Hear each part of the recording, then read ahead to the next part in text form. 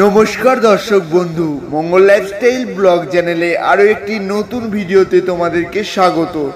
তো বন্ধুরা, কোজাগরি লক্ষ্মী পুজো চলছে। তো কোজাগরি লক্ষ্মী পুজোতে আজ আমরা এসে উপস্থিত হয়েছি শান্তিপুরের বাগানে পাড়ায় কোজাগরি লক্ষ্মী পুজো ও পুজো প্রাঙ্গণে। তো এখানে প্রতি বছর খুবই জাঁকজমকপূর্ণভাবে কোজাগরি লক্ষ্মী পুজো অনুষ্ঠিত হয়ে থাকে।